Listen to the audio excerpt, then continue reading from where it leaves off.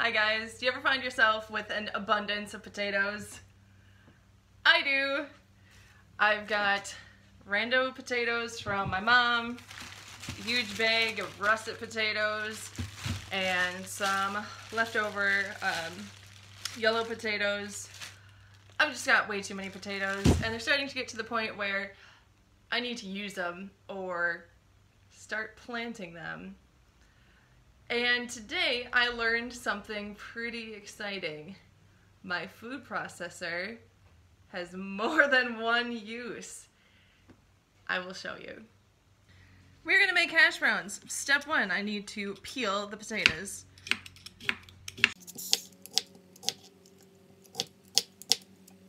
Alright, then slice them in half and place them in this bowl of cold water to remove any excess starch.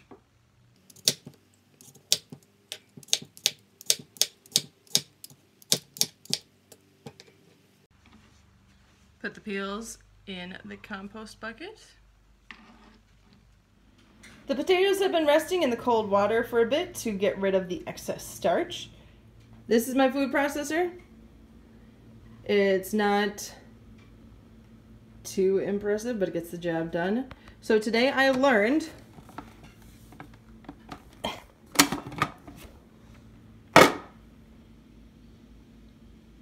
you can use this to shred stuff with a food processor. OMG. No more wasting my time with the silly shredder. So let me get this hooked up and I will show you how this works. Hi Jordan. Hi. Those of you who are already familiar with this trick, don't judge. I am really excited. So, gonna put my first potato in here.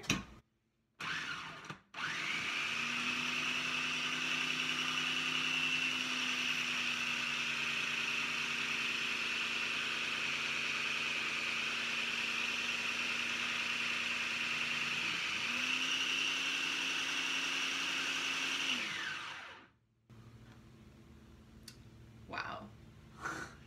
Potato number two. So some of this stuff didn't get quite shredded, but that's okay. That's the stuff on the top. Here's more stuff. This is more like potato chips. I could make potato chips.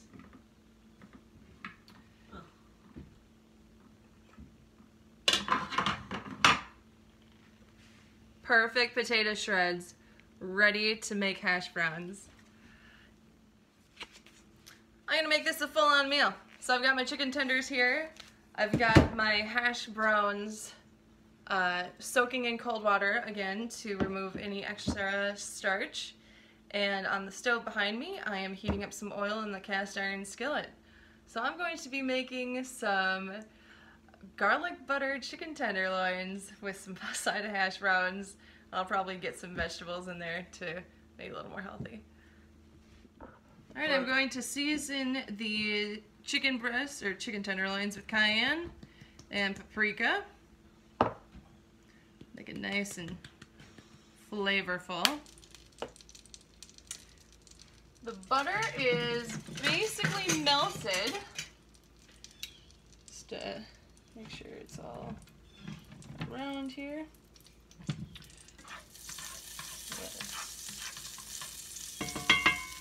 So, I'm going to add the chicken tenders one at a time.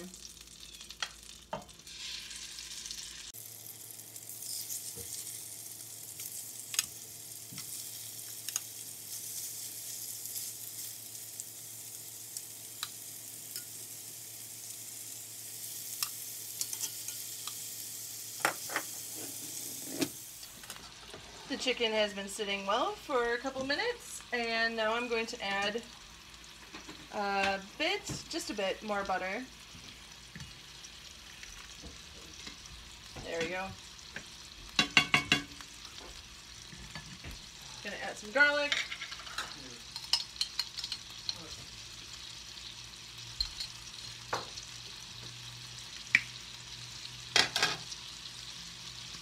Basil for the chicken. Oregano.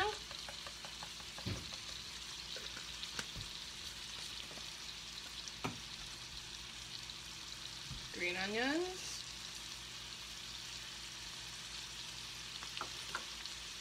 Oh yes. Salt.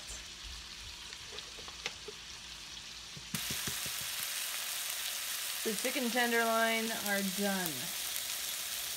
The hash browns have been rinsing in cold water and I just drained it. So now it's time to shape them into patties and fry them up on that same skillet that I used to cook the chicken tenderloin. It's definitely not getting high marks in the looks department, but let's see how it tastes.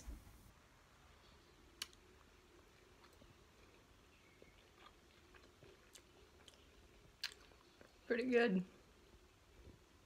And there we've got it.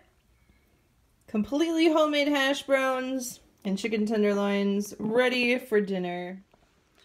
Thanks for watching. I'll see you next time.